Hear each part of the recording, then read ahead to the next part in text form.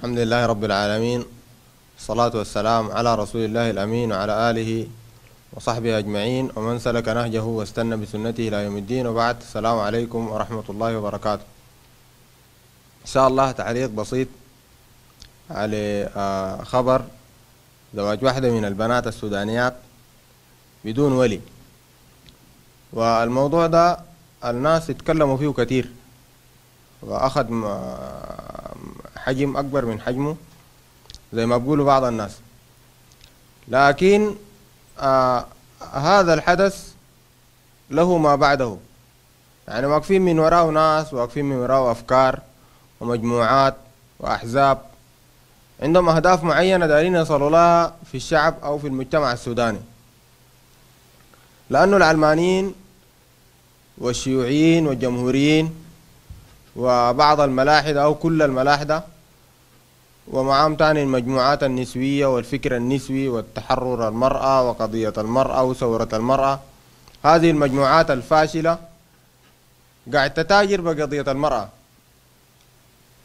قاعد تتاجر بقضية المرأة.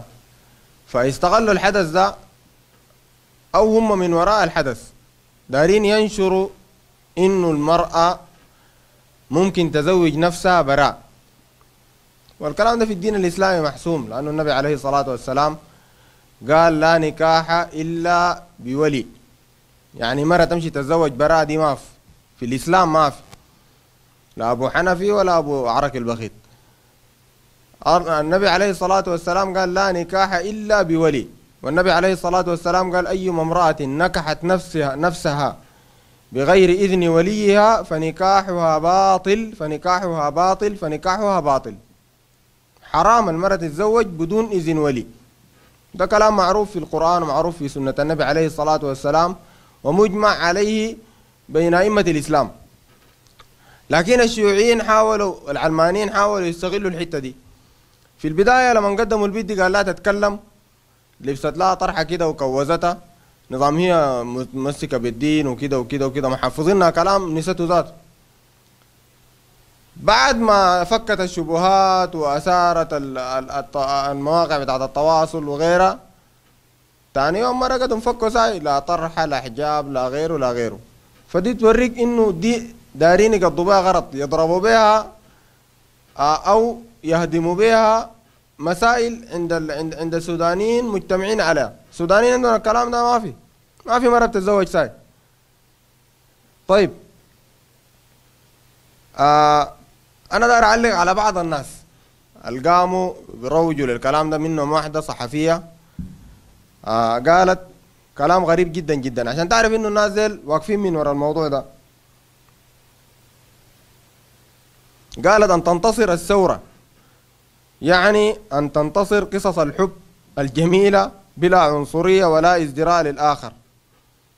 إحسان آدم بطلة دافعت عن حقها في الزواج بمن تحب دون ولي.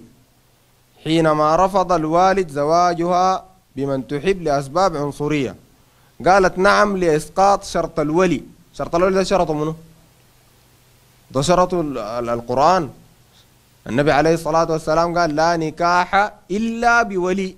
ده كلام الرسول. الرسول قال مرة ما بتتزوج إلا بولي. دي قالت نعم لإسقاط شرط الولي لزواج المرأة في قانون الأحوال الشخصية. يعني شوف الناس ماشيين لوين؟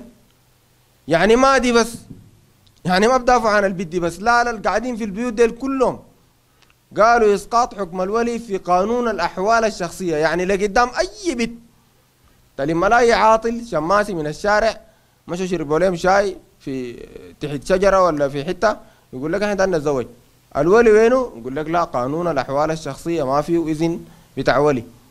وكده المجتمع ما انتهى. المجتمع كده انتهى. قالت نعم لإسقاط شرط الولي لزواج المرأة في قانون الأحوال الشخصية. في واحد تاني ملحد برضو برضو كلهم بتجربة القضية دي. كلهم بتجربة القضية دي. والغريبة إنه في وحدات من الجماعة اللي بيقول لك النسوية ولا ال feminist ولا الفيمينيستويات ديلك ناس مين شوقي وسجم رمات برضو واقفين مع دي. مع إنه هم شايفين إنه الزواج جزاته ما في داعي. ديك مش قالت أنا رافضة المؤسسة دي كلها المؤسسة بحري ولا قال كلها رافضة. ما داير زواج ذاته لا داير تتزوج ولا يتزوجوها ولا بتتزوج راجل ولا غيره. طيب. إيهاب عدلان ده واحد ملحد. ما مؤمن بالله ويسب ولسانه لسان وسخ يحارب الدين ويحارب الإسلام. قال قصة البت قصة البت الرائعة. أها. الاسم إحسان دي. وزواجها من حبيبة الشردت معاه جوبا. وأس حبيبة ده كان راجل أنت ما تمشي تعري تعرس البيت من أبوها. كان راجل صحيح صحيح. تعرس البيت من أبوها. جاربها مالك. قال شردت معاه جوا وتزوجوا ديل. يا أخي البيت دي جميلة شكلا ووعيا. طبعا ده من تلبيس الشياطين الشيوعيين الملحدين. قاتلهم الله. بيسموا قلة الأدب. والإلحاد والتنكر للشريعة ده بسموه وعي. شوف الناس المجار ما كيف.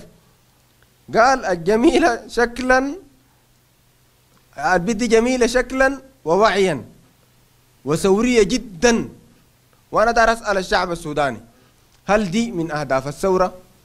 لأنه الليلة الصعاليق ديل بيقول لك دي من أهداف الثورة وحرية وسلام وعدالة.